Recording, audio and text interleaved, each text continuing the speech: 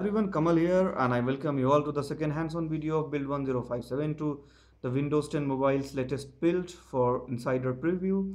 In this video we will cover all other unlisted changes which we had already posted in one of the uh, one of our articles on Nokia Power User. Uh, we have earlier uh, made a video which covers the unlisted changes of Microsoft Edge on uh, build 10572 so in this uh, video we'll cover all other changes. So starting uh, from lock screen. Here you can see new animation. So now if you unlock your device you'll try to move the image. It would not move. Only what moves is like uh, are the date and the notifications and your screen opens or uh, the device gets unlocked. So we will do once more and we'll see how the animation had changed.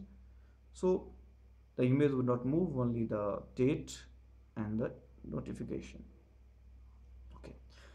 so uh, that was the first change. The second change is in people lifestyle. So now the people lifestyle has the look that we have seen on lumia 950 and lumia 950 xl uh, the build that they were running had this kind of people lifestyle. So it's here. And we have also seen this lifestyle in emulator build the 10536 now coming to the third change. So it's in reachability. With one tap now you can revert back so this is one change which we can see. Going to uh, more changes if you go to settings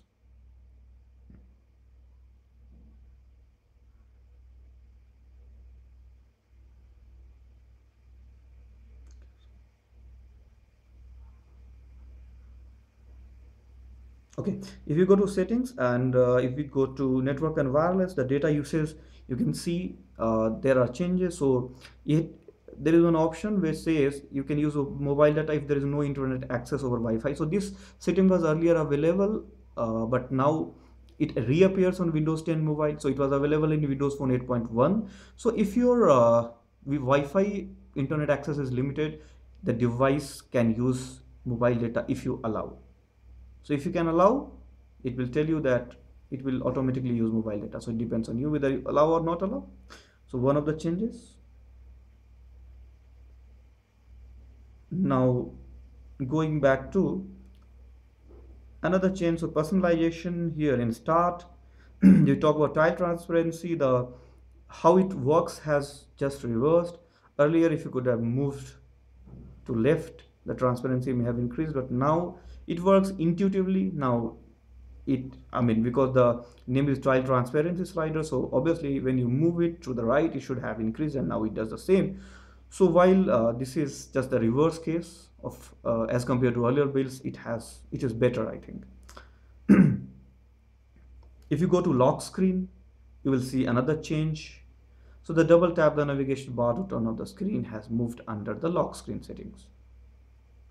Now one more change that you can see is in accounts. If you go to your email and accounts and we have posted screenshots in our article which will update with this video. You can see that all the email and accounts and even the uh, different accounts like the facebook beta account has all been clubbed under this your email and account settings.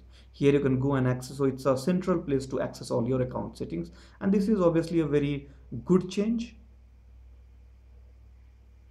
one more change that we can see is in messaging. Now sync messages between devices. So this setting now you allows whether you want to sync your messages between devices or not. So this is one also a very important change. And it's unlisted so we are covering it here.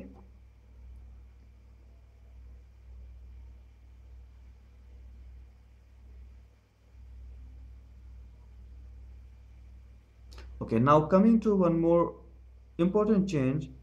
So uh, if we go to update and security for developers so the device portal has now come to this uh, build. And as you can see it has become i mean device portal is very easy way to actually sideload the apps using your pc and connecting it to your mobile.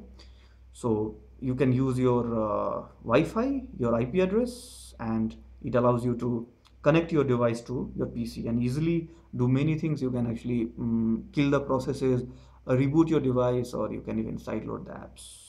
So these were many unlisted features which were not listed in the official change log and in our earlier video as we said we have already covered unlisted changes in Microsoft Edge so these two video covers nearly everything every unlisted change that build 10572 breaks. If you come to know about any other build any other change that we could not cover in this uh, tutorial okay yeah yeah let me let me before finishing it i just remember that there is one more change that i would like to show. So now you can see that if you try if you dial any number you can actually move the cursor. Quite good so that's a neat feature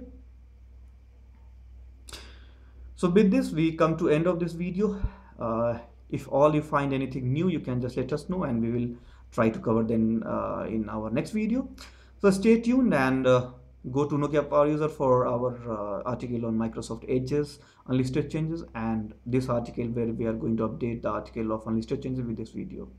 Stay tuned. Thanks for watching.